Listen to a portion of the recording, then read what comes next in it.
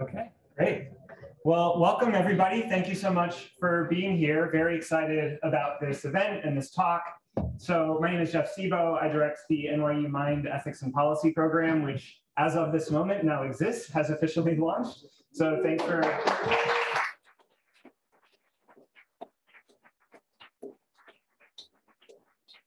for, for being here with us for that. Uh, so before we start, I want to thank a few people who supported us with this event. First of all, I want to thank our co-sponsors, the uh, NYU Center for Bioethics, the NYU Center for Mind, Brain, and Consciousness, and the NYU Minds, Brains, and Machines Initiative. We are working in a university with lots of very cool programs doing important foundational work at the intersection of consciousness and other issues that matter a lot, like ethics and politics. And we are very happy to be working with those people. And I also want to thank uh, the two main organizers of this event, Luke Roelofs and Sophia Fogel. They spent the past few weeks doing a lot of work putting together a really complicated event with a lot of moving parts, doing work that would normally involve a team of administrators. So thank you to both of them for pulling this off and, and making it so exciting. Uh, and so I will it, uh, introduce the speaker in a moment, but first, since this is the uh, launch event of the NYU uh, Mind, Ethics, and Policy program, I want to say a little bit about who we are and what we do and why we do what we do. So we are going to be conducting and supporting research about the nature and intrinsic value of non-human minds, including biological and artificial minds. And our motivation for doing that work is the recognition that humans share a world with a lot of non-humans, right? Including a lot of non-human animals. We share a world with many vertebrates, mammals, birds, reptiles, amphibians, fishes, as well as a lot of invertebrates ranging from octopuses to arthropods like insects to nematodes, right? And in the future, we might, human and non-human animals alike, share the world with an even vaster number and wider range of highly sophisticated artificial intelligences. And like it or not, humanity is going to shape the fates of all of these non-human beings by determining whether they can exist and what kinds of lives they can have if they do. And so that raises a lot of really important questions at the intersection of mind, ethics, and policy. Which of these beings might be conscious or sentient or sapient? And what kind of moral, legal, political status should they have? And how can we build a world where we can treat everyone who matters with respect and compassion at the same time? And that raises even more foundational, really important, really difficult questions like what is the nature of consciousness and how can we know about consciousness? How can we know about other minds? What is the na nature of moral standing? And how can we know about these moral facts, right? And how can we extend legal and political status to quintillions of potentially conscious or sentient non-human beings in a context involving scarce resources and great power differentials. These are really important, really difficult questions. And without assuming that we can answer them, we want to be conducting and supporting research and outreach and field building that can at least advance our understanding of these issues of the consciousness and sentience and sapience and moral and legal and political status of, of non-humans, including animals and artificial intelligences. And with that in mind, I can think of nobody better, literally nobody better in the entire world to speak at our first event than uh, David Chalmers, who I think exemplifies exactly the kind of research and outreach and community building and field building work around these issues that we want to be conducting and supporting in, these, in this program. And so I'm honored that David is willing to speak for us. Let me just say a little bit uh, about him. So David Chalmers is University Professor of Philosophy and Neuroscience and co-director of the Center for Mind, Brain, and Consciousness at NYU. He's the author of The Conscious Mind, Constructing the World, and Reality Plus, Virtual Worlds and the Problems of Philosophy, which came out this year. He co-founded the Association for the Scientific Study of Consciousness and the PhilPapers Foundation. He is known for formulating the hard problem of consciousness, which inspired Tom Stoppard's play, The Hard Problem, and for the idea of the extended mind, which says that the tools we can use become parts of our minds. So I'll invite David up in a moment, but first just to note how this uh, talk is going to go. David will speak for about 45, 50 minutes, and then there will be a discussion period that will uh, invite questions both from the in-person audience and from the online audience. So people here in person can be thinking about what you might like to ask and people online can enter any questions or comments in the Q&A tab on, on Zoom and then can upvote other questions and we can go back and forth between them. Uh, okay, so with all that in mind, uh, please join me in welcoming David Chalmers to speak with us today.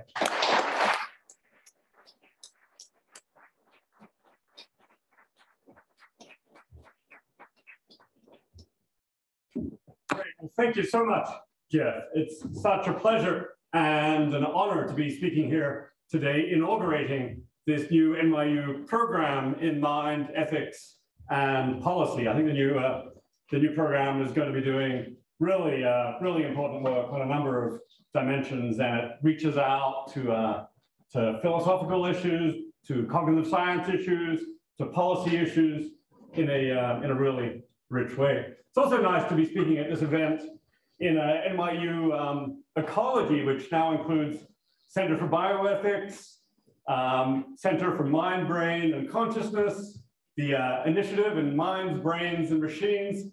I was losing count, but I think that comes to three minds, two brains, two sets of ethics, and one each of machines, consciousness, and policy, uh, which is cool. Still room for more. Um, I guess today I'm going to be uh, talking about uh, the intersection of two of the uh, two of the one vote issues, uh, machines and consciousness, that uh, minds, brains, and ethics will never be uh, will never be very far away. Uh, my topic, as you know, is are large language models sentient? So just for a little bit of of, uh, of background, um, I'm sure you all know about this. Here's the here's the story from this summer, I guess it was this June, uh, about the Google engineer, Blake Lemoine, who claimed that uh, one of Google's programs, uh, one called LaMDA or LaMDA 2, was in fact sentient and had, uh, and had rights and deserved to be, to be respected. This caused a rather large brouhaha. Um, many people immediately uh, uh, came down very negatively on this on this claim. This reaction by Gary Marcus is uh, pretty typical. Uh, Google's AI is not sentient, not even slightly typical of Gary, but also typical of the, uh, of the, the widespread, uh, the wider community's reaction. I mean, interestingly, we actually also heard something similar from Google themselves. In a statement, Google spokesperson Brian Gabriel said, our team including ethicists and technologists, has reviewed Blake's concerns per our AI principles and have informed him that the evidence does not support his claims. He was told there was no evidence that LaMDA was sentient and lots of evidence against it. I guess uh, you know the starting point for this talk was maybe me getting my interest being piqued, in particular by that uh, that parenthetical part at the end that says uh, lots of evidence against it. It's not too hard to to see the, uh, the, you know, the little evidence that it was sentient claim, ah, this evidence against it. Now, what is that evidence exactly? so I'm just, you know, curious about thinking through exactly what the evidence is and what the, uh, the reasons are on both sides of this issue and then seeing what all that adds up to. Um, maybe just for a little bit of, uh, of background, well, here's LaMDA. Um, LaMDA is basically a, uh, based on a large language model, but fine-tuned to be uh, really good at dialogue, at, uh, at conversation, connected to databases to give us certain kinds of knowledge, and so on. But it's based around uh, one of these large language models, which has become very, uh, very familiar. Um, a language model, I mean, language models have been around for, for years. They're just systems that assign probabilities to sequences of text, uh, thereby predicting the next text and also enabling generation of new text. So predictive tasks, the quick brown fox jumps over the lazy, okay, any system that's been exposed to typical text is going to say the very, very likely output is dog with a high, uh, with a high probability. But exactly this means can also be used to extend and generate text. Given any prompt, any beginning, it will just generate as much text as you like, and that's what ends up going in very interesting directions, displaying what for some people the signs of intelligence. Uh, the large language models are the, uh, the innovation of over the last five years or so. Um, they're basically giant artificial neural networks, almost all of them these days using the transformer architecture based around multi-head self-attention. Um, if you don't know what the transformer architecture is, um, it doesn't matter too much. You're not going to uh, to uh, to figure it out from this uh, from this picture. But the details are here. you basically feed in a bunch of uh, a bunch of inputs and shift them along, and uh, you've got this giant network that plays uh, pays. You've got these attention mechanisms for paying attention to prior states in a way that's learnable, and it generates output probabilities for for text. Um, typically, these are trained on data from all over the internet. Uh, the largest ones have these days have more than 500 billion parameters. I mean, the original transformer paper was back in 2017, and then in successive years we had uh, we had BERT, we had GPT-2, we had GPT-3 in 2020, uh, which is still probably the the uh, the best known. Uh, Google had PaLM, which is even bigger. There are a bunch of others, all uh, all depicted here. I guess uh, circles proportional to size. So PaLM still seems to be the biggest to date. I guess that's Megatron Turing from NVIDIA and Microsoft. Next to it, um, you got ones like Chinchilla, which showed that you could do actually a, a whole lot more with uh, with less from uh, from DeepMind. But then, yeah, there at the beginning, you've got the original little ones for GPT-1, GPT-2, GPT-3, and there are rumors that GPT-4 is coming any day now. So, uh, so let's uh, let's see. Um, there's also now many of what I'll call LLM plus, large language models plus, which take your basic large language model and add further capacities. Uh, there are vision language models that basically process images and combine them with the text processing.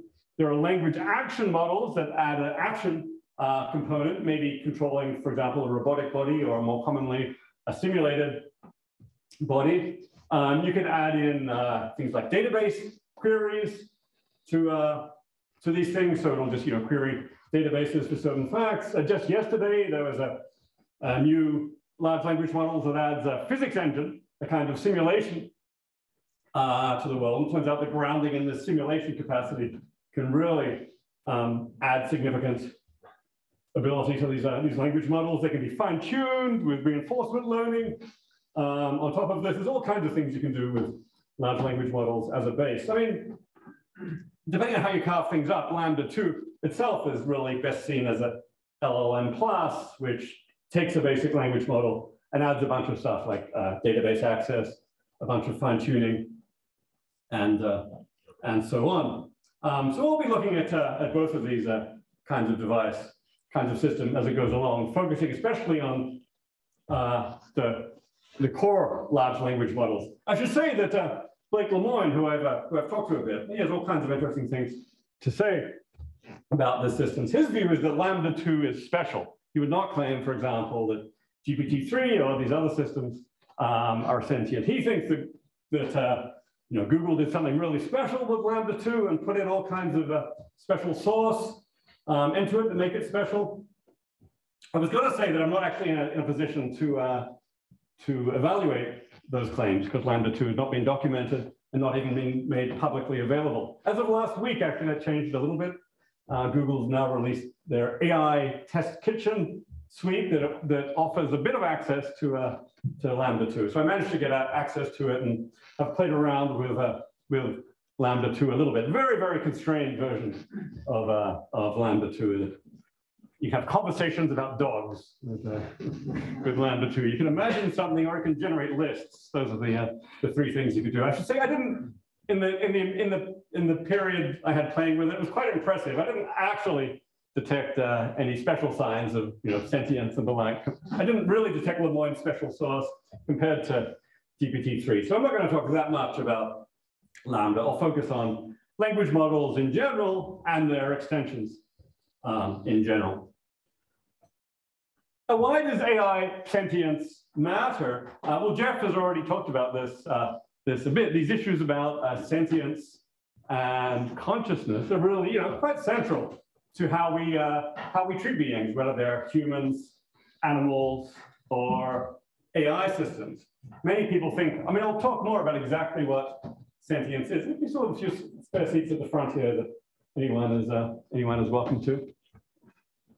Um, basically, many people think that sentience is the key to moral status. If a system is sentient, it has at least entered the circle of mattering morally. If an AI system is sentient, then we at least need to take it into account in our moral calculations. It doesn't mean it matters as much as a human being does. Um, you know, we think that, for example, many non-human animals um, are sentient, and they may not matter as much as a human being, but they matter. So I think AI sentience matters uh, for treating AI systems morally if they do ever become sentient that makes a moral difference. It also matters for some questions of self-interest. If, for example, eventually we're going to upload our brains to, uh, to computer systems, as, uh, as many people think will eventually be possible, there's a real question there about whether the system that comes out the other side is sentient, is, uh, is conscious. That'll be something, if you're going to upload, you want to, you want to be pretty damn sure that that uploaded system is in fact going to be sentient or conscious on the other side. That's a case where it actually matters for self-interest, whether a certain um, AI system is, uh, is sentient. And more generally, I think it matters for a valuable future. If we're thinking about a center, about a future which involves um, populations of yes, humans, um, AI systems, non-human animals, and so on, then you know, we want it to be a system with, uh, with value. And insofar as you know, for example, if 99% of the world is AI systems that lack sentience entirely, many people would see that as, you know, as potential bleak future, or at least not, at least not adding value. Whereas um, if there are sentient systems in our future, that really transforms um, our conception of the value of that future. I mean, people have, it's quite common, I think, especially in, uh, in animal rights circle, circles, to see sentience as the key to moral status. And maybe sometimes people erect a whole philosophy around this so-called uh, sentientism that says, uh, yeah, um, know, we started with humanism, respect all human beings. It turns out you got to go broader than that. You got to expand your moral circle beyond humans to include, for example, non-human animals, AI systems, and I guess this is aliens, um, extraterrestrial aliens. And the thought is all of those systems could matter morally, even though they're not humans, in virtue of what is it that they matter? sentience. And I think that's a natural view. I'll talk more about what sentience is in just one second. But just, yeah, but so the key question will be, are large language models and their extensions sentient? I should report my own intuition, like those of many people, says no. I think the initial intuition is it would be very surprising um, if they turned out to be sentient. But I don't think intuition is necessarily a reliable guide to these things, and I certainly don't think the question is obvious one way or another. So my aim really in this talk is to examine and evaluate the reasons on both sides of this question.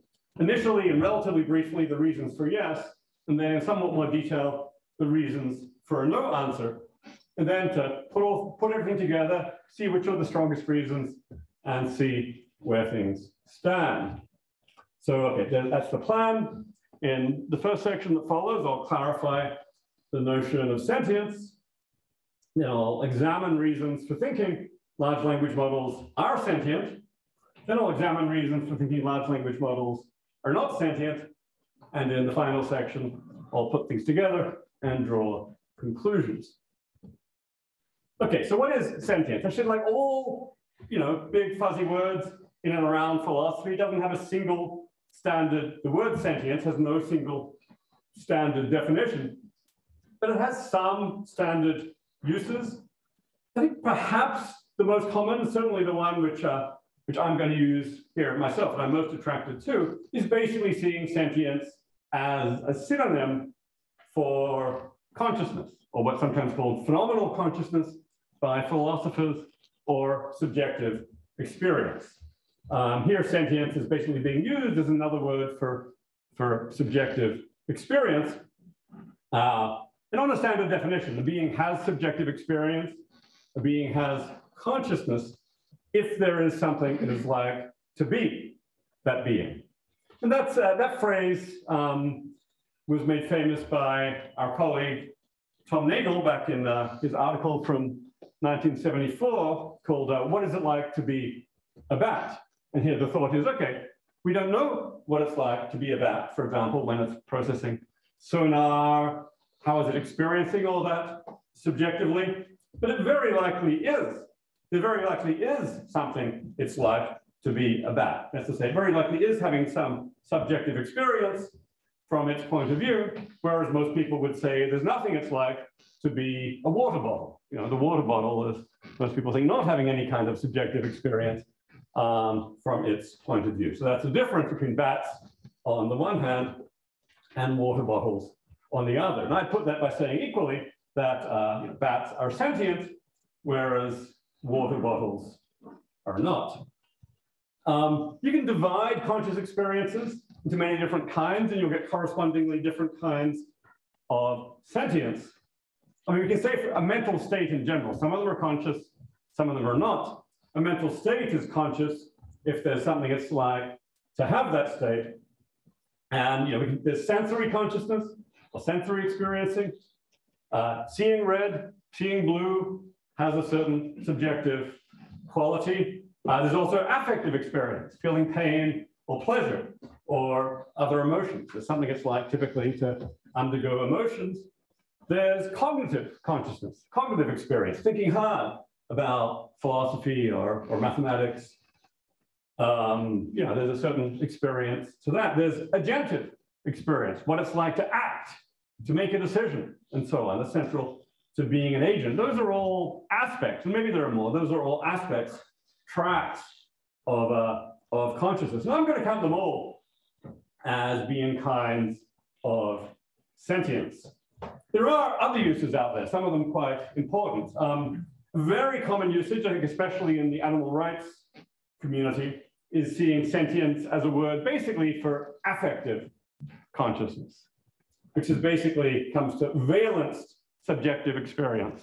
Subjective experience with a positive or a negative valence. Here, the paradigms, I guess, would be pain and pleasure that go back to, you know, goes back to, to and who thought that uh, the pain and pleasure were the key to, uh, to moral status. So more broadly, maybe just positive and negative conscious states in general, uh, including happiness, somewhat broader than pleasure and suffering, somewhat broader than pain, but subjective experience with a positive or negative status. Many people have argued that affective consciousness is actually the key to moral status.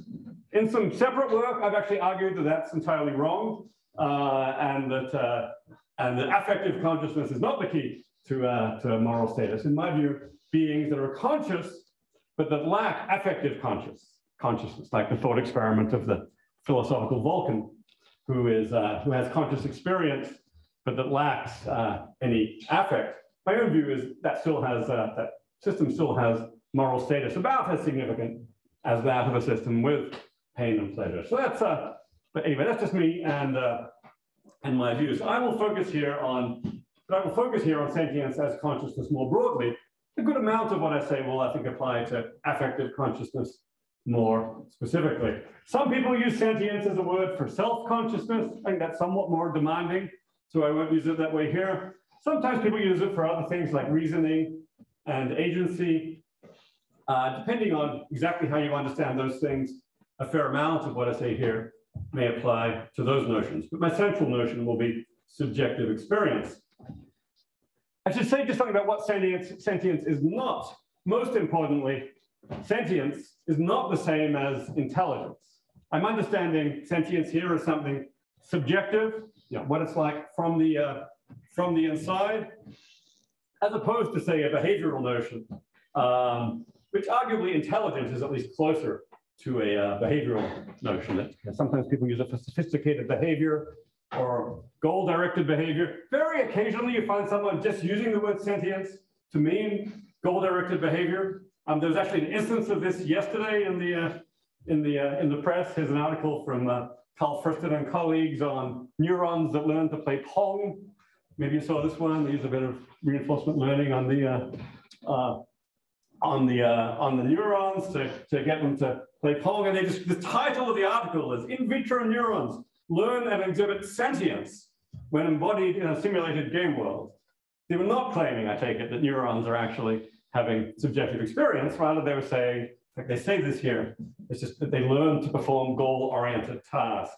I'd just say that's a rather idiosyncratic usage of the word sentience. I wouldn't encourage other people to use it this way.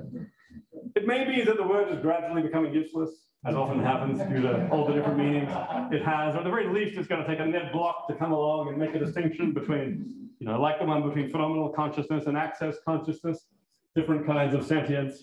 Anyway, that, that's not what I mean. Sometimes the word sentience is used for human level intelligence. And I think many people hear about LaMDA being sentient, that's kind of the first thing that comes to mind. So very important to note, at least for my purposes today, sentience is not the same as full human level intelligence, or what sometimes gets called artificial general intelligence or human level AGI, and doesn't require it. I mean, your average theorist, I think, holds that, that fish are sentient or phenomenally conscious, that newborn babies are phenomenally conscious. In fact, we have data on this from the, uh, from the PhilPapers survey of professional philosophers. 65%, I think, think fish are, are conscious. 85% think newborn babies are conscious. Much the same results in a survey of scientists uh, taken at uh, ASSC conferences. So, uh, so this just kind of brings out that at least on the ordinary conception, uh, consciousness and sentience don't require um, human level, or at least adult human level capacities. This importantly lowers the bar for sentient AI compared to human level AGI. In making the claim that AIs might be sentient, we don't need to make the case that AIs are at human level capacities in all respects, or possibly in any respects. Um, you know, it would probably suffice to make the case that they were on a par with, uh, with fish or mice or, or whatever in relevant respects. And that will come up as things go along, but it is worth, worth uh, making clear that in some respects, this at least lowers the bar for sentient AI. Okay, so I'm going to, anyway, whatever else you might mean by the word, I'm going to focus on sentience as consciousness or subjective experience, partly because that's what I know best, partly because I think that is actually a notion which is super important here. Some of what I say will apply to the other notions, uh, perhaps like reason, agency, effective consciousness, perhaps not all of it. I ought to say that, you know, I've got a bunch of distinctive views about consciousness. Uh, for the most part, I'm not going to presuppose them at least too much. Um, you might, um, for example, I'm, I'm, at least sympathetic, uh, sometimes in the past expressed sympathy and interest in the view of panpsychism that everything is conscious. You might think, well, if everything is conscious, that makes it really easy. That makes this issue really easy. If everything is conscious, AI systems are conscious too.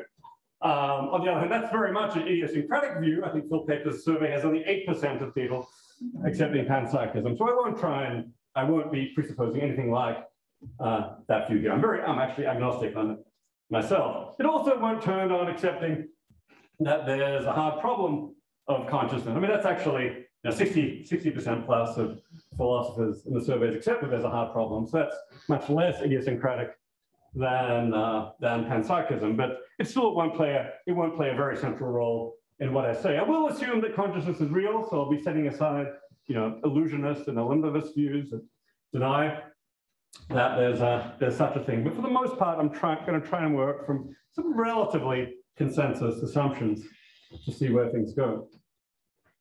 Okay, that gets us to uh, the second section on examining reasons for thinking that uh, large language models are sentient.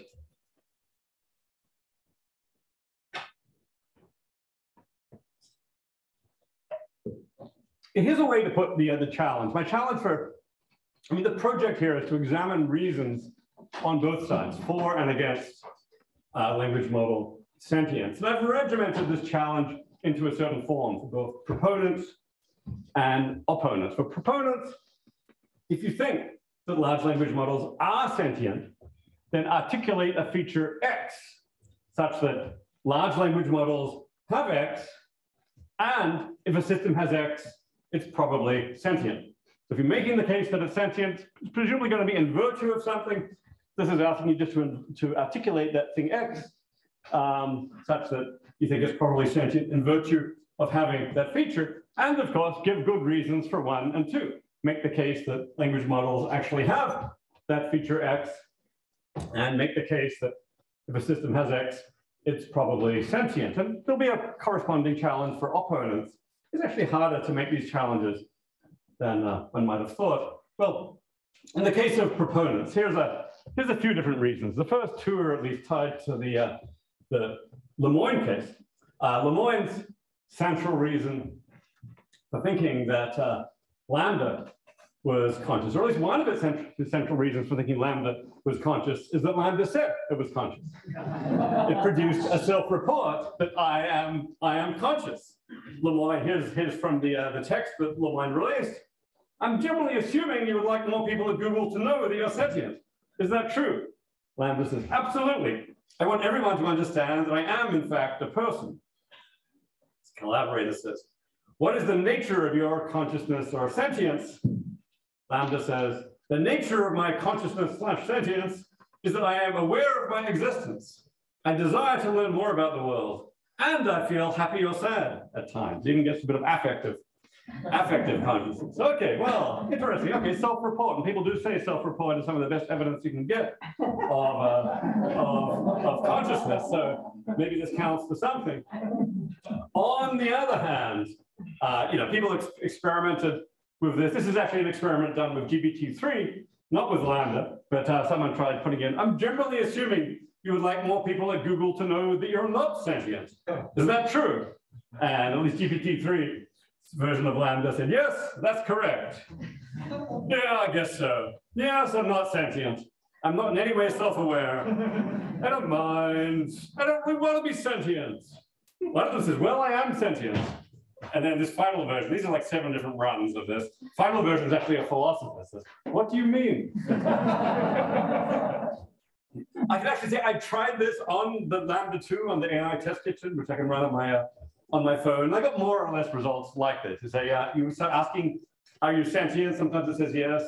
Sometimes it says no. You can ask it, you can leading questions, and it will in fact assert that it's sentient, and it's not very hard to get it to assert that it's uh, not sentient. So all this to say that this evidence seems uh, seems rather equivocal and rather weak. So, okay, that's going to be my. I'm going to try and evaluate these reasons as they uh, as they go along. This evidence so far seems um, seems rather weak.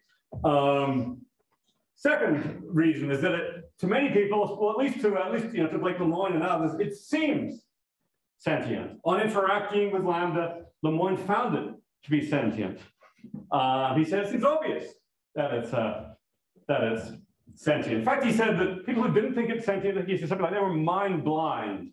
They were just not detecting uh, minds where they were uh, they were present. On the other hand, I mean, maybe there is such a thing as mind blindness, but we also know that the human mind tends to attribute sentience where it's uh, where it's not present. Even in primitive AI tech systems like ELIZA, there are all these results. You know, when a system has AI, has eyes, we're very tempted to uh, attribute sentience to it. And you know, it's perhaps not out of the question that where maybe where some humans are mind blind, someone like Lemoine is, I don't know what the opposite is of mind blind, uh, mind positive, let's say, seeing uh, seeing minds, uh, seeing minds everywhere. So think the actual reaction of them seeming sentient doesn't count as much evidence, but what matters is the behavior that prompts the uh, the reaction, you know, the underlying basis within the, uh, the behavior itself. If there's some substantive basis there, let's focus on that, not on the reaction. Okay, so that one seems uh, weak to me too.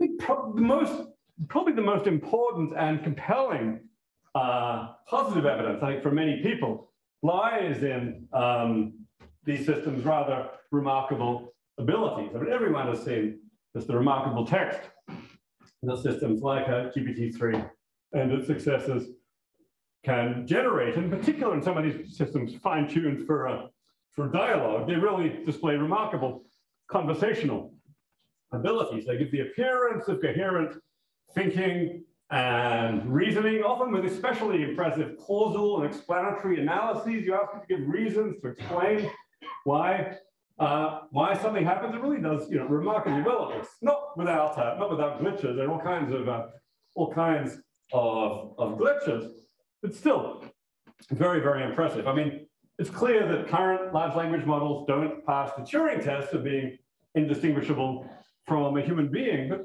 yeah, they're not that uh, they're not that far away. I mean, they're, they're, closer than anyone thought we would be at this uh, at this point. In many ways, the behavior of these systems is akin to that of a smart and sophisticated young child that makes some really dumb mistakes, but really has a great degree of sophistication and responsiveness. Um, but the underlying thing here is not so much conversational abilities, but the thought that these language models actually show signs, elements of domain general intelligence. You can ask them about all kinds of domains, whether it's uh, you know math or science or philosophy or literature or gameplay, I mean, or programming, which they can do. Um, and they do pretty well in a whole bunch of domains. Nothing before them really had this kind of domain general abilities in uh, in AI.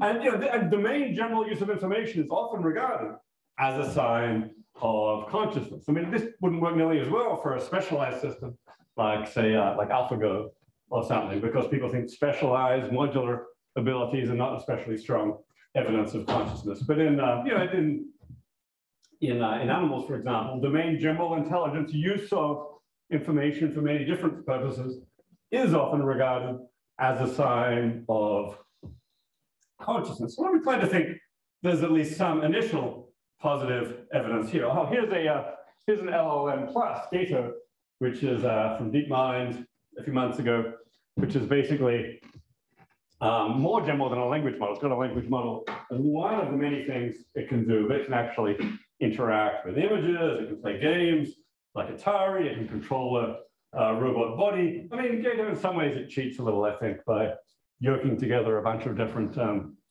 a bunch of different systems. But it's an example of, um, of a very general system. And even if you just take the language models on their own, well, they're limited to to uh, to text, of course, but they nonetheless shows kind of understanding, knowledge, things that we might have taken to be understanding and knowledge of many different uh, domains if issued in humans. So my own view is that I don't know exactly what we want to say about the evidential value of these things right now, but two decades ago, if we'd been confronted with these systems, if someone had kind of shown us, um, so as, hey, there's an AI system from sometime in the future that's uh, producing, uh, producing, you know, conversational uh, text dialogue like this, we probably would have taken that as evidence. It's like, like initial evidence, at least, that the system is sentient. Now, maybe that evidence can be defeated by something else that we know. Maybe once we know about language models' architecture, or their training, or their behavior, then there's something about that. Okay, actually, that evidence is much weaker than we thought, and it, uh, and it defeats our evidence. I'm inclined to think it's at least some prima facie evidence for, um, for taking this hypothesis of sentience seriously, one that then has to be weighed against the negative evidence. So um, we will. So I guess, yeah.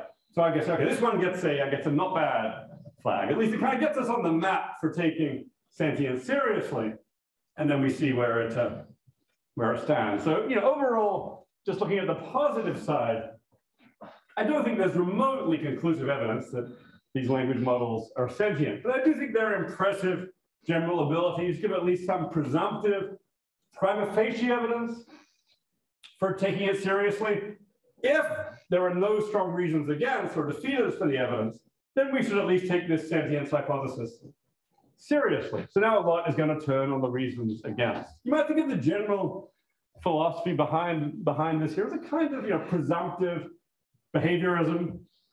If you've got a conscious system, you've got another system, say, that, uh, that behaves about as impressively as the conscious system. And there's at least a presumption in favor of consciousness of the second system, which has to be, if you think there's been a difference between the two, that the second one is not conscious, then there has to be some reason for that, some feature that the first system has and the second system lacks, in virtue of which one is conscious and the other one is not. I mean, it's complex applying that in this case, because part of what's in question for language models is exactly how sophisticated their behavioral capacities is. But I think, you know, if, for example, if we had an AI system that was as sophisticated behaviorally as a mouse in every respect, and we view, and we took the view that mice are, uh, are conscious, then there would be a presumption in favor of the, uh, the AI being conscious too, at least to the sense that somebody who wants to say that one is conscious and the other one is not would have to point to some relevant difference between the two, in virtue of which the first is conscious and the second is not. So that's the kind of reasons against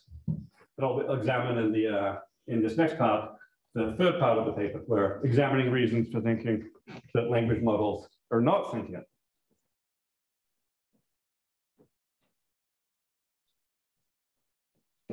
So here's the challenge, I think I should say for opponents, for opponents of language model sentience.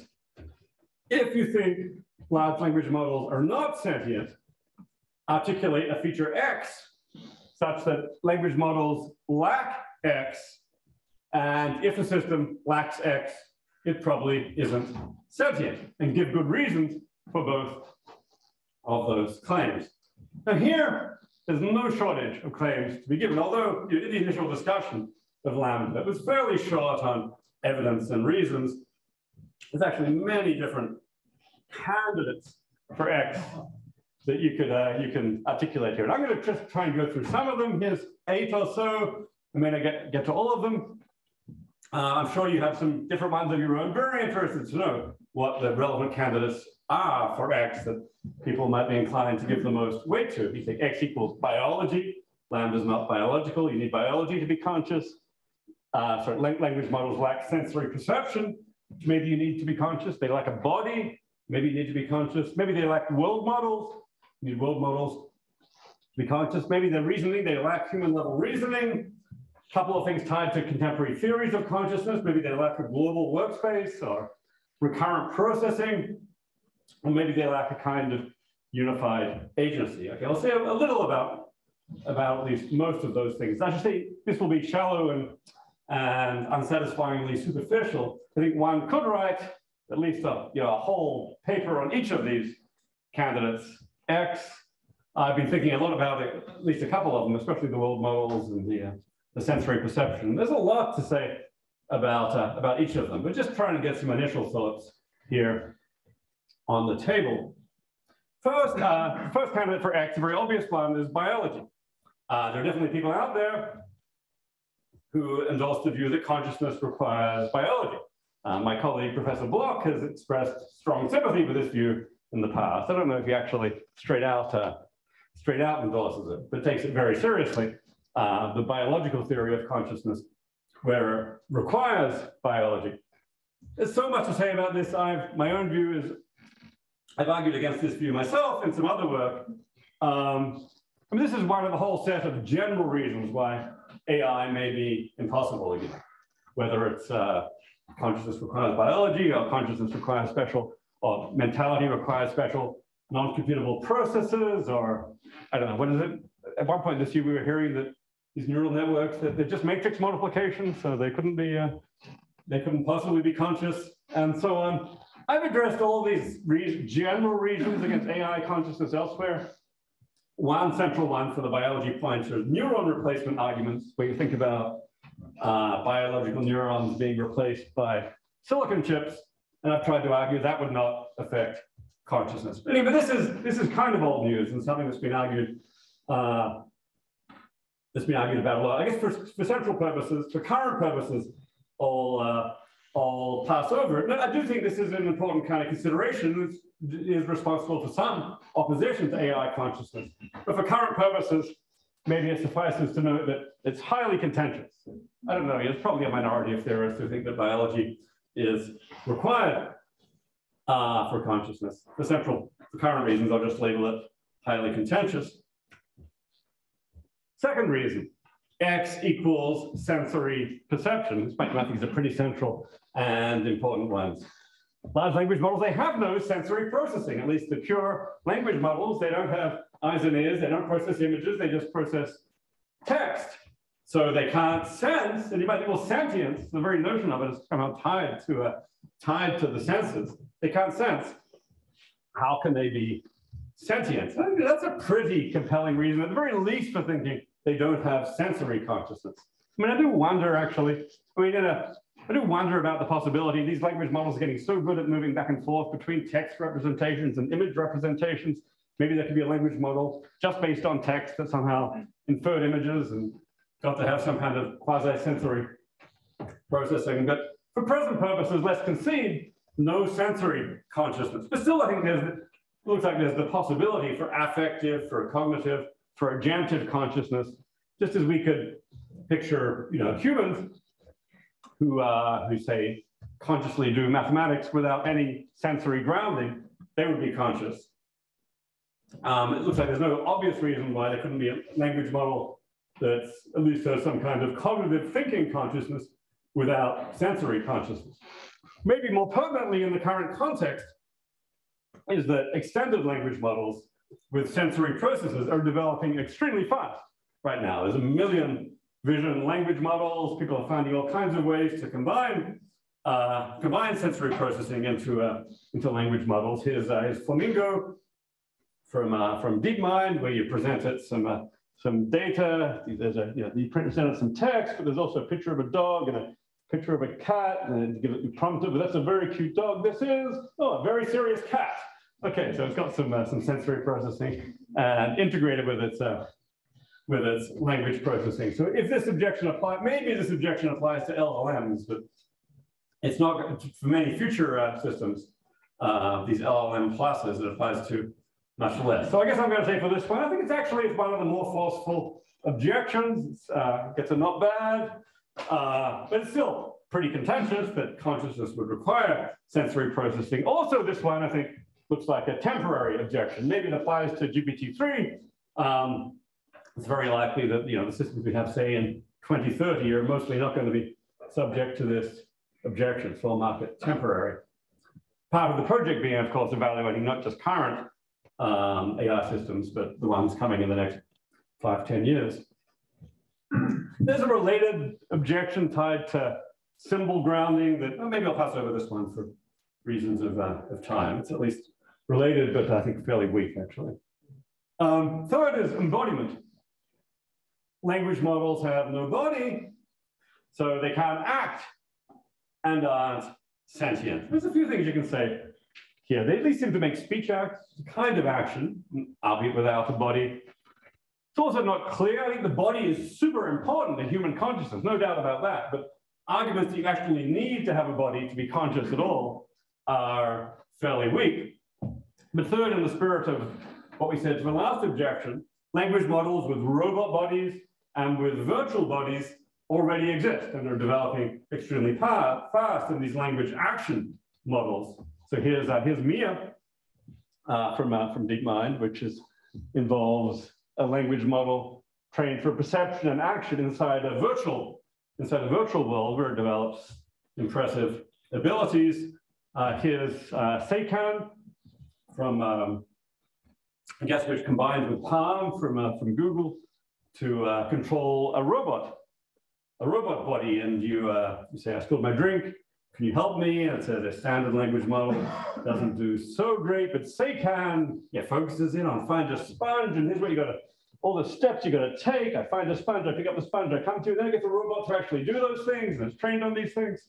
So um, we actually get a kind of embodiment. I mean, all this is still fairly primitive, but again, I think vision, language, action models are developing fast, and as they develop, I think these objections begin to lose their force. The embodiment objection, I think, is weakish, and again, temporary.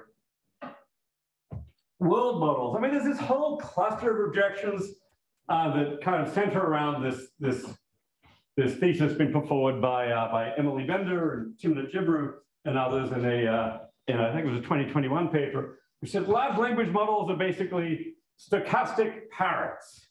Uh, they, yeah, they do a bunch of statistical stuff, but they're basically parroting text, processing text. They don't really understand the meaning of anything. Gary Marcus has put this by saying they just do statistical text processing. They don't actually develop world models, representations of anything beyond text. These systems are just imitating, they're just minimizing prediction error.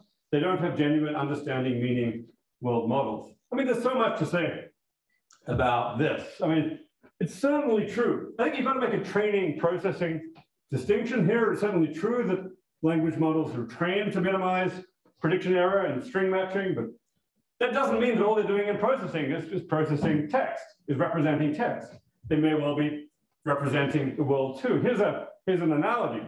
Maximizing fitness during evolution, we know leads to extremely novel processes post-evolution. Somebody say, oh, all you're doing is maximizing fitness. You know, it's like, well, it turns out that maximizing fitness can lead to amazing novelty. So likewise, minimizing prediction error during training can lead to novel processes post-training.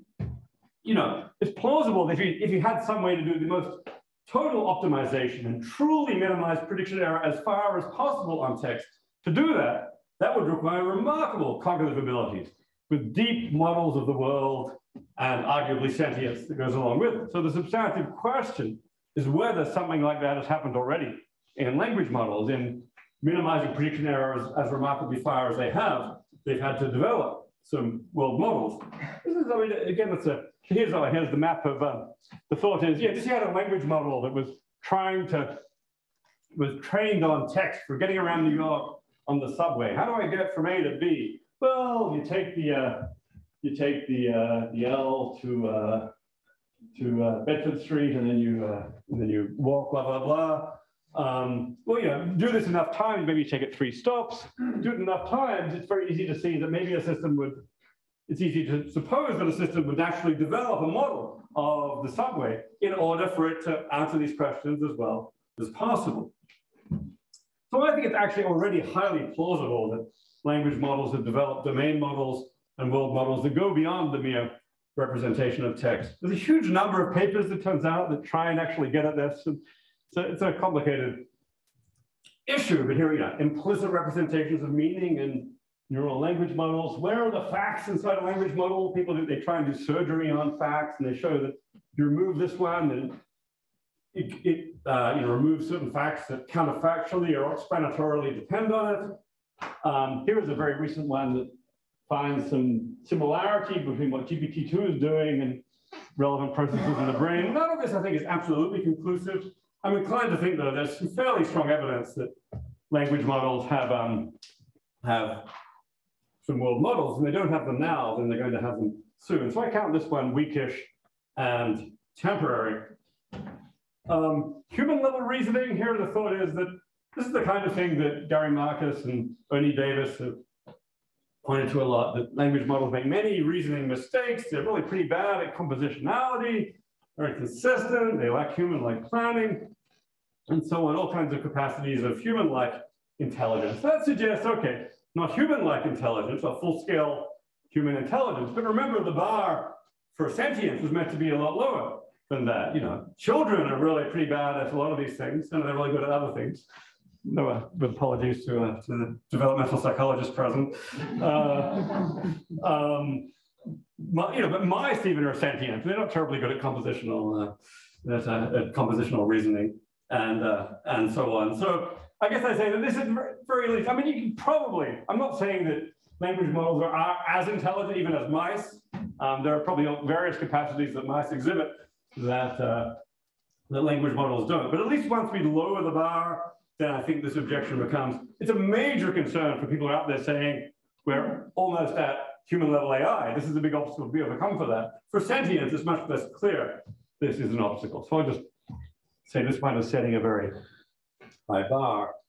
An interesting one, I think one of the strongest reasonings is actually tied to the fact that language models are pretty almost purely feed forward systems that lack recurrent processing. And as a result, they lack the kind of memory-like internal state that persists between inputs. They're stateless, as it's sometimes said in, uh, in computability theory.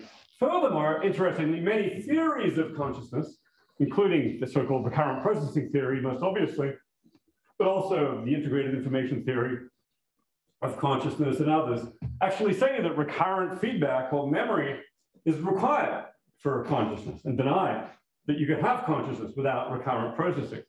And these weren't motivated by thinking about language models at all, but might think, okay, interesting, they would predict that language models are not conscious. So here are, there are some, um, know, here are some, here's a fairly traditional recurrent network. Here's an LSTM, a long short-term memory. Uh, that's the kind of system that came before these transformer systems, all of which had recurrent processing. But uh, language models is pretty much feed forward all the way, except maybe to the very limited extent of embedding an output, which introduces a kind of uh, a kind of recurrence by embedding previous outputs. But it's very it's very limited. I mean, I think there's a, there's a lot of things to say to say here. I think you you could make the case. I mean, they've got, certainly they've got the very limited kind of recurrence you get from using recirculated outputs.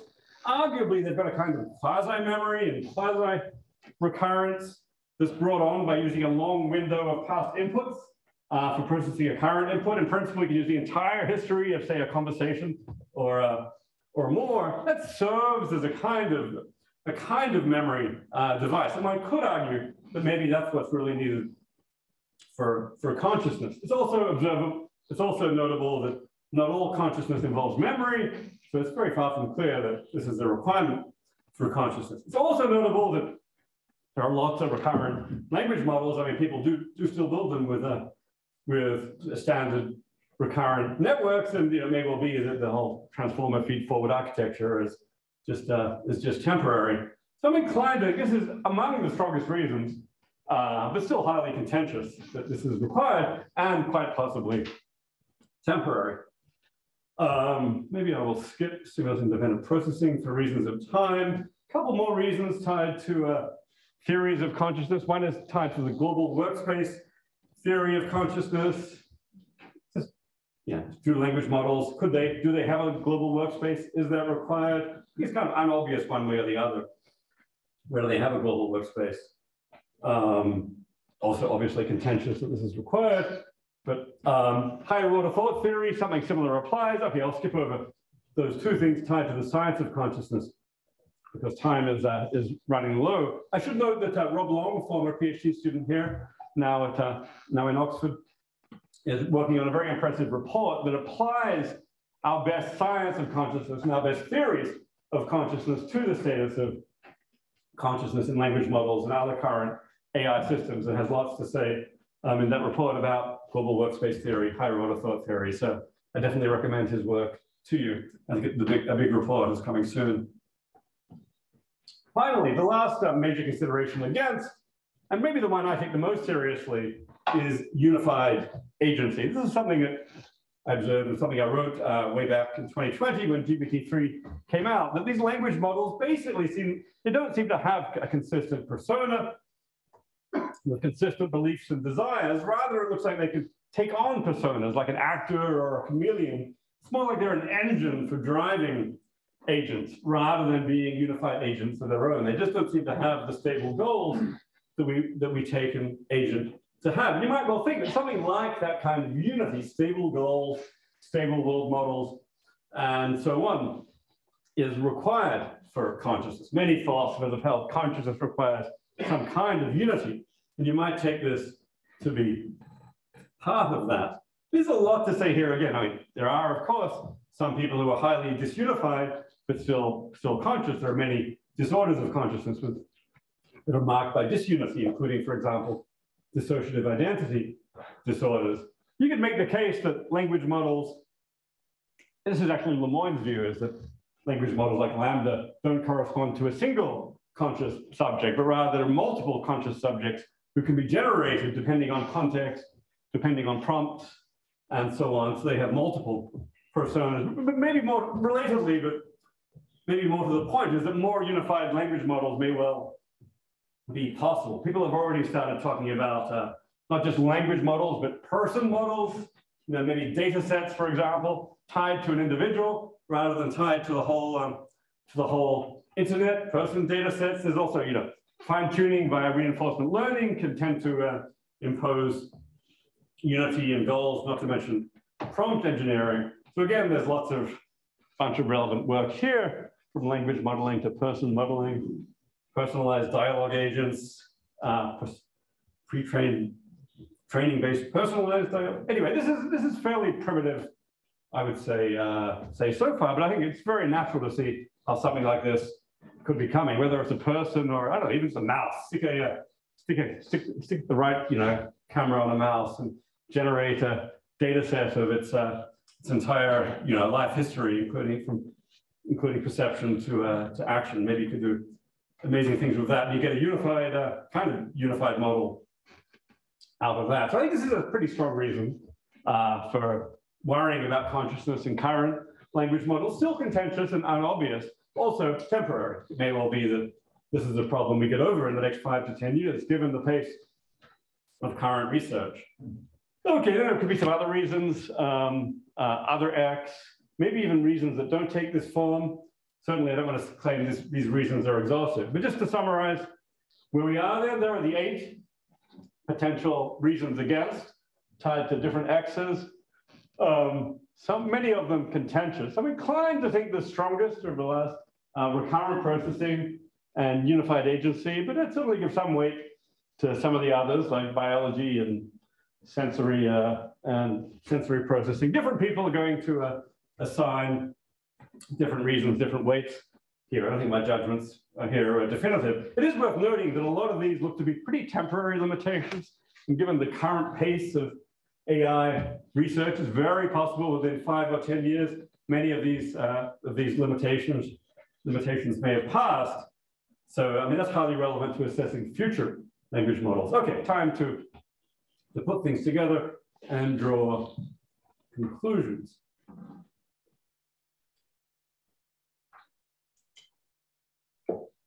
So I think let's just look at current language models first. I think none of these reasons taken alone, just looking at the reasons against, I don't think any of these reasons taken alone decisively rules out language model sentience. And you know, I don't know whether Google thought there was some reason that decisively rules it out taken alone. I don't find that by examining these reasons. All of the relevant consciousness requires X theses are pretty unobvious and pretty contentious. That said, some of these theses deserve some significant credence. I think you know, consciousness requires a unified agency. Maybe that's 50% requires recurrent processing. Maybe that's getting in the vicinity of, of you know, significant credence around uh, 25 to 50%. Maybe some of the others um, get, you know, even consciousness requires biology. Who's to say 20% credence? I don't know. As does the truth of other theses involving other unspecified X. So even if you just got a few here to get some credence, these reasons, I think, taken together might be enough to yield pretty low credence in language model sentience. At one point, I thought about doing a big Bayesian calculation, assigning specific credences and so on to different theses and priors. And I decided that was basically specious precision um, you know, to try and to, to try and, and do that. better not to. But just if you're just thinking like back of the alphabet, just so you think generously that the positive considerations get you to 50% prima facie evidence, 25 to 50%. But then you go through some of these others and think, okay, some of these knock that down by 50%, some of them knock it down by 25%. You're pretty soon under, uh, you're pretty soon uh, under 10% credence. And that's roughly where I, where I think a reasonable person I think it would be reasonable to end up with some, somewhat lower than 10% credence in current language models being sentient. There's just too many things that they lack that seem relevant to, uh, to consciousness, even though none of those individual reasons is decisive. I say this isn't quite my own, my own credence. My own credence is perhaps somewhat higher than this. Um, you know, as I said, I've got some idiosyncratic views. I'm sympathetic, sympathetic with panpsychism uh, which makes me think that many of these consciousness requires X theses are just uh, may actually end up being false. But I'm not trying really to, uh, to I'm not trying to to uh, build in my own views here. I think build based on some reasonable consensus views, maybe that could still end up getting you to something under 10% credence in current language models. Future language models. Um, you know, language models and their extensions are developing very fast. Many of these things, which are current limitations, are coming, are going to be overcome very soon. Sensory grounding, virtual embodiment are very much on the way. Recurrence and unified goals uh, maybe here soon. It's not, going to, it's not going to surprise anyone, I think, you know, this point, if say by 2030, We might have virtual perception, language, action agents, which are very sophisticated. Um, let's not say human level capacities, but which exceed in, you know, in most domains, let's say fish capacities or mouse capacities. And few of the limiting X's will apply. The biology X will still apply, assuming these are these are artificial systems, they'll lack biology. But most of the other capacities won't apply. And um, so, you know, um, just if we did have AI systems by 2030 that are at least at mouse level in capacities, and most of us think mice are, are, are sentient, then we'd have um, decent reasons, I think, for, for at least taking seriously AI in these systems. In the absence of defeating evidence, um, I think, you know, back of the envelope calc calculation might suggest that maybe 20% or more credence in AI sentience by 2030. Certainly no decisive evidence in favor of it, but I think a, a natural calculation gets us to something like not being unreasonable. So the upshot then is that reasons for and against language model sentience are all somewhat inconclusive. And I think, you know, all this suggests we should at least take the sentience hypothesis seriously rather than simply dismiss it. There's no conclusive evidence, evidence against it. And we should, we should take future AI sentience even more seriously, I think. I mean, the limiting problems here are basically two rather big problems. One is consciousness, and two is interpreting the language models themselves. On one, on the one hand, we don't understand sentience. On the other hand, we don't really understand what's going on inside the language models. To better understand AI sentience, we need to make progress both on consciousness and on interpretability of the language models. This actually, you know, brings out a certain kind of strategic point about thinking about AI and the ethical, associated ethical and safety issues. I mean, long-term AI ethics involving issues like sentience and safety and superintelligence is often seen as competing with near-term AI ethics, dealing with issues like bias and accountability and so on. But there's actually a common problem as a key to all of these things, and that's the problem of AI interpretability, actually understanding what these systems are doing and what's going on. Solve that problem, and we'll make real progress on both near-term and long-term AI ethics. We may even make progress on whether language models are sentient. And I think I'm now running out of time. So why don't I consider that uh, consider that uh, the end and uh, hand it over for questions. Thanks.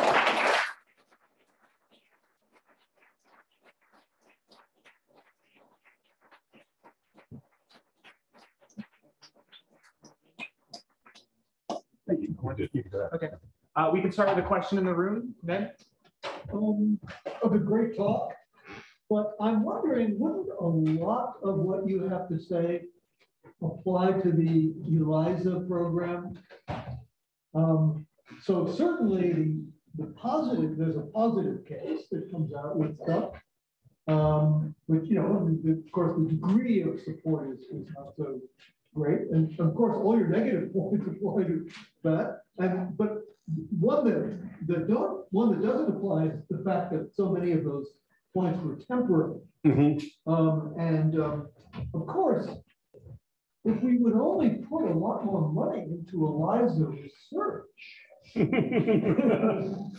then some of its lacks would be temporary too. Yeah. Because you know, you just the same kind of tricks that going to the ELIZA program could also have something to do with the robot body and some perceptual stuff. So I think a lot of what you said would apply to the ELIZA program. And I don't think anybody should take seriously the idea that ELIZA is sentient. Okay, good. Now, this was not a put up job, but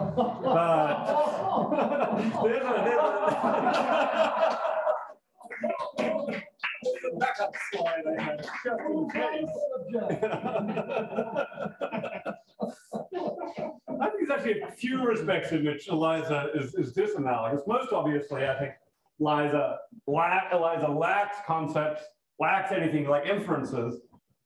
So it can't, it just clearly, I think, can't do anything like think or, or reason. If, I mean, if that was true for language models, then that would be a reason to worry as well. But in the case of language models, in fact, there's a pretty decent, although we don't understand them, pretty decent case for world models, pretty decent case for representations that work like concepts in some ways. For ELIZA, I think it's more we do understand what's going on in ELIZA and know that those things are, uh, are not happening. I'd perhaps also say that ELIZA is less general than, uh, these language models. It seems to be, I mean, de depending on how your counterfactual goes, it looks like it's pretty good at uh, certain very, sticks to certain very specific topics. I mean, same issue, I thought about the same issue that comes up for like AlphaGo or, you know, uh, is there an equally strong case that AlphaGo isn't sentient? But I think in the case of AlphaGo, it lacks general intelligence and general capacity. It's very specialized. Um, so it really doesn't get into the, uh, you know, the first part was the positive reasons, which I argue do get language models into the take the sentience hypothesis seriously territory. I don't, my, my feeling is that neither AlphaGo nor ELIZA really have the kind of the positive reasons in favor of them that get themselves into the, uh, the take And what I the uh, little hypothesis seriously. positive, A little positive, and that's the default. That was your reasoning. A little positive reasoning. I don't know. I've got to be pretty careful in articulating this presumptive behaviorism. Maybe in some cases, if someone wanted to say this got us to ten percent presumptive positive evidence, positive credence in AlphaGo before the defeating factors come in, maybe I'm not going to be opposed to that. ELIZA, I think, is more dodgy. All right, we have a question from the Zoom crowd now. So Daniel Capel asks, what questions would you ask LaMDA to probe whether all its reports are what a conscious being would say? Would you be impressed if it reported intuitions regarding consciousness? Yeah, if it really did that in a novel and uh, generative way, I mean, maybe it's going to be that LaMDA happens to have read in all its internet, intertext, internet searching some papers by Ned Block and by and by Dave Chalmers and by Tom Nagel and so on. So it's it's learned all, it's learned what all the intuitions are, and it can be fine tuned to to assert them. In which case, I think that wouldn't be much evidence. But if on the other hand, you know, you give it a novel, you give it Ned's latest thought experiment about consciousness, never written about before, and it turned out it actually had phenomenologically plausible uh, intuitions about it. I'd certainly give that some weight. Yes, over there. Um, so your slide about ELIZA maybe points to, uh, the possibility that, I mean, you're saying, oh, like, they don't have, it doesn't have like actual concepts or whatever, but in, in this case, maybe would you say maybe interpretability breeds contempt, or rather like that the better, that if we do develop better capabilities for understanding the inner workings of a model, then we are less likely to say it's conscious because consciousness is a mystical force or something and therefore, yeah. Yeah, that's interesting. I like it. Interpretability breeds contempt. It's certainly true that uh, interpretability cuts both ways. Yeah, maybe it could convince us that something uh, kind of consciousness-like is going on in the system. I think, you know, you can imagine, like, boy, we got recurrent processing on a global workspace that connects up in all these ways with higher order. I, I think one could, one could end up coming out of that with something that increases the case for consciousness. But it's also the case that, yeah, we could, we could decide, um, upon looking at these language models, all they're doing is blah, blah, blah, text statistics. And all they're is storing a whole lot of text and matching to template. And turns out matching to template can do amazingly well. Um, yeah, and that would then be, that would then breed contempt. So depending on what we find when we do the interpretability, it could go both ways. Yeah, I mean, I suppose there's this general view that the more we understand a system, the more we know. Uh, well, that can't be consciousness because Yeah, that's, that's what it's I'm not. It's not spooky enough to be consciousness. I'm, I, I'm, I'm skeptical that any type of interpretability would, uh, would convince a, would make a person consider it more likely to be conscious. Yeah, it's not so much think we're going to find consciousness in these systems. Yeah, there's always going to be the. expla- I said I wasn't going to build in the hard problem, but yeah, there's, in my view, there's always going to be an explanatory gap between these processes and consciousness.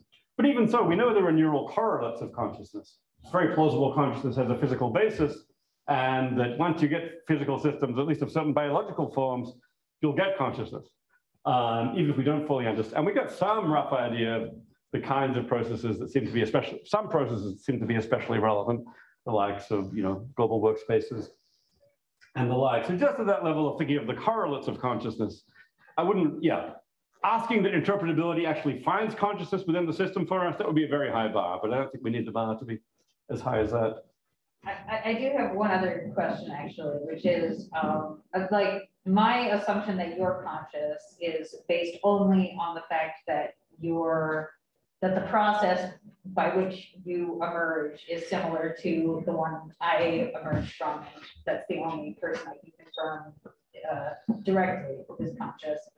So I wonder if the like right answer is, or the most convincing answer is not about the, um, whether it's not about the final product and its, um, uh, capabilities, but rather about the process by which it emerges, that we can say, this is the kind of process that can create consciousness. So when you say the process by which it emerges, you mean like a developmental evolutionary story? Which for us, it's a certain story.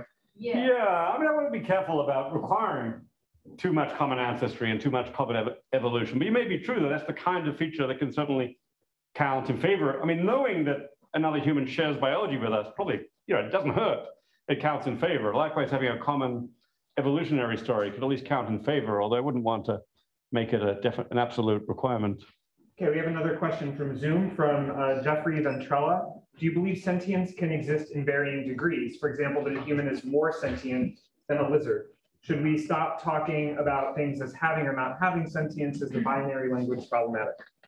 Um, you know, I think, you know, consciousness is very rich and certainly cannot be captured in a binary of conscious versus not conscious. I tend to resist talk about consciousness coming in degrees, not because I think it's binary, but simply because I think there's too many different degrees.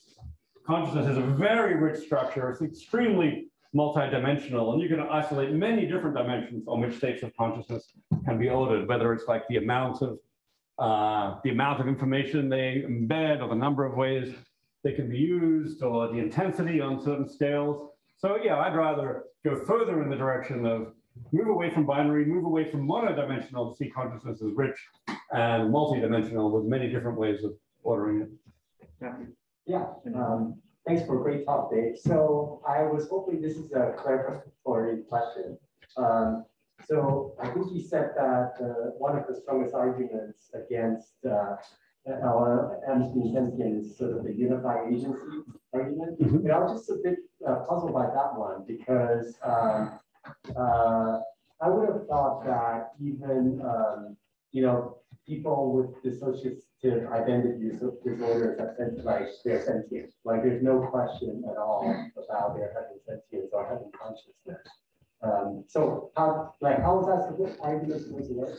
Yeah, I guess, I mean, I did make this response uh, myself, so as a, as a potential, as a potential reason to, to, you know, at least weaken this evidence against sentience. But I take it this doesn't really settle the matter. I mean, I- many people are going to say that even people with dissociative identity disorder, underneath that surface disunity, there's a lot of underlying unity. And that, you know, I don't know exactly what the experiments are, but I know that, I think there's a lot of overlap in belief and world knowledge and so on between the different personas in people with dissociative identity disorder. I'm not an expert by any means on dissociative identity disorder, but I thought that, you know, um, it could well be, somebody could well make the case that even by the standards of people with these disorders, language models are actually extremely disunified even relative to that. At least that seems to be a substantive question, which is where I meant to leave things. Okay, great. Another one online and then Susan will be next. So, so Ioannis uh, Stasinopoulos asks, is Data from Star Trek The Next Generation sentient? What do you think? Uh, could be. I'm inclined to, I'm inclined to say yes. Uh, they, they, they, they, put him on trial for, uh, for, for being conscious or being sentient in, what was the episode, Measure of a Man? And actually, they said he's, they, they, they said there's three things that matter. Is he self-aware? Is he intelligent? I can't remember. And is he conscious? And they said, yes, he's self-aware. Yes, he's intelligent. Then they never answered the third one. They just, they just, they just left it hanging. But I'm inclined to think, at least in the series, you're inclined to, you're encouraged to believe that he's conscious. He does lack emotions until a certain point where he gets an emotion chip. Right. But I think even, you know, he could be like a Vulcan that lacks affective consciousness and still be conscious. So I'm going with yes. Okay. So you had a running re- repetitive trope in this talk about we might at least these la- la- large lang- language models might in the future have the consciousness of a fish. And I don't even see how they're going in that direction. Mhm. But, I mean, I mean, go back to what it's like to be a bat. You could equally like ask, what is it like to be a shark? There is an answer to that question, I think. Mhm. And I don't think large language models are gonna get, you know, I mean, the question is how, what? You, you think there's a lower bar to express sentience to a, to a fish or a bat than to a human being? Perhaps, but what's the dimension of the lower bar that gets addressed by only temporary limitations, right? So I just don't see how you're gonna ever address that question. You're not gonna train, train, and maybe there's research to be done of training up um, the large database that fish have. Mhm. But fish, there's something that- to be a fish that neonates have, neonate fish have. Mhm. Um, That's one reason to think about the biology and evolution as well. But anyway, I guess, I just didn't understand how that was working. Yeah, what I intended was not so much, we're going to have AI systems with the consciousness of a fish, just as a premise or as a, as a claim. Rather, it was more like we're going to have AI systems with the capacities of a fish. Let's say viewed at the level of behavioral capacities. Um, at a certain point, um, I don't know exactly when that point is coming, but at a certain point, we'll have AI systems that, you know, behaviorally have at least most of the capacities that fish exhibit or that mice exhibit, especially those which aren't too tied to the uh, to the biology. And at that point, that's when I said that's when this kind of presumptive behaviorism kicks in. That behavior should be at least regarded as suggestive evidence of consciousness, such that if you think it's not conscious, then you're going to have to point to some reason why, say, the fish is conscious, but the system is not. And that's going to be open to saying, for example, something like consciousness requires biology. Only biological systems can be conscious, so the fish is conscious and the AI system is not. Okay, great. Then we just need to assess that thesis and consider our credence in it. don't you think that we're gonna have AI systems with the behavioral capacities of fish? Okay, good. Well, this is this is an empirical question about the uh, about the future. I'm just rather impressed by what current AI systems are doing, how fast they're moving along. You're uh, you're not. So okay. Yeah. Okay, uh, at least one more question from online, then we can take uh, another one from the room. So Sam Bowman asks, how sentient would LMs be purported to be under the best supported panpsychist views? And how would we evaluate that? Well, I don't think any panpsychist view has really been uh, been developed well enough to say. I mean, panpsychist views tend to say that there's consciousness at the level of, say, elementary particles, but then there's this big thing called the combination problem, which is how do those all come together to yield consciousness? And different, you know, Luke has a view on which uh, on which any combination comes out uh, comes out conscious, but quite often panpsychists are more are more conservative about this. I mean, I think insofar as you think it requires, I mean, you might think that integrated information theory would say, okay, there's a certain amount of integrated information in these systems, so they will come out conscious. Although turns out integrated information theory has this, you know, for certain weird reasons, rules out consciousness in feed-forward systems. So I think the, the answer is basically it depends on the theory. Got a question from the back. Go ahead. Uh, Yes.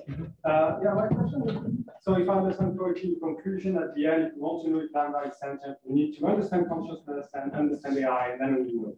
But then there is another possible path, which consists in saying, no, no, look, let's look at our only reliable pre-theoretical sign of sentience, which is, let's say, self-report. Maybe Lemoine was not so crazy to rely on self-report. The only problem is that he omitted the fact that by feeding LaMDA with lots of text data, which are relevant for self-report, we sort of broke the reli- reliability of the sign. But now what if we systematically try to train a language model without feeding any sort of data uh, relying on self-report? Then that preserves the reliability of the sign, and then we could just assess uh, sensing self-report. Yeah, I think that would be, that would at least carry a lot more evidential weight. Um, you know, the philosopher Susan Schneider has argued that our best test for consciousness in machines may be uh, probing it on reports about its own, uh, its own mental states and its situations about them and so on. But she imposes as a condition that it can't have been exposed to other people's discussion of these things because that's just totally corrupting. And so for that reason, uh, she thinks that in, yeah, in current language models, this is very little evidence because they've been, they've just read too much text about these things already. But if you could find a way to somehow prevent anything in the vicinity of those texts and those ideas, maybe everything it's ever had is just first order descriptions of the world.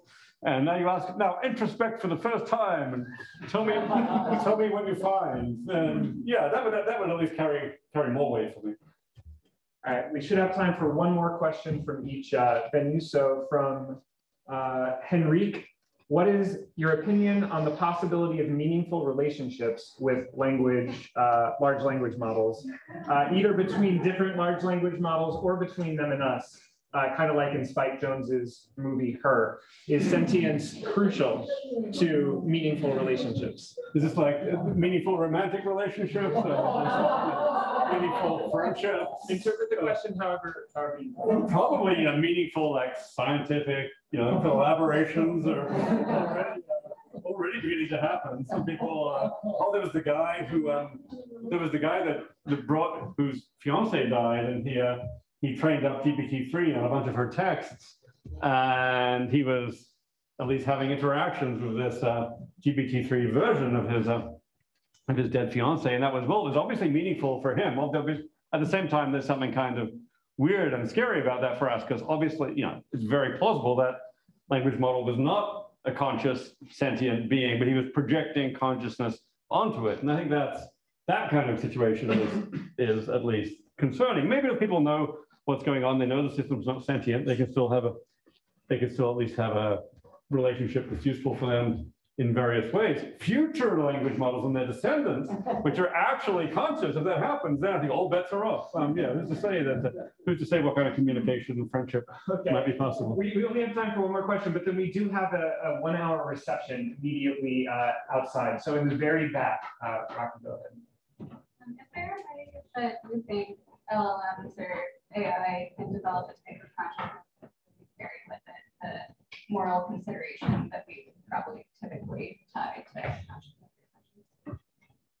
It's interesting. I mean, I do think that we assign more weight to some kinds of consciousness than others when it comes to morality. I mean, affective consciousness, obviously, pain and pleasure carries a lot of weight for many people, but I'm also inclined to think, say, cognitive consciousness, say, thinking, reasoning, we assign a, intuitively a lot of weight to that.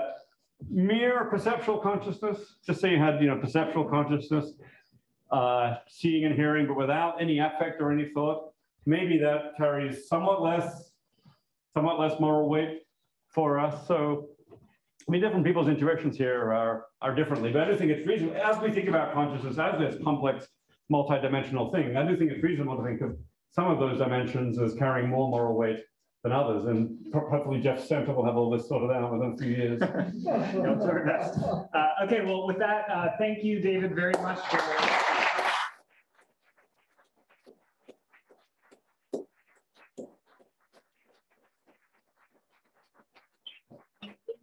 Everybody for being here. This was really wonderful. Uh, if you want to follow us and, and hear about more events, you can check out our website, sign up for our email list. You can email me. Uh, we do have a vegan reception. There are lots of treats and wine and beer and non-alcoholic drinks right outside uh, uh, in the back here. So please join us for that. And uh, have a great rest of your night. Thanks, everybody.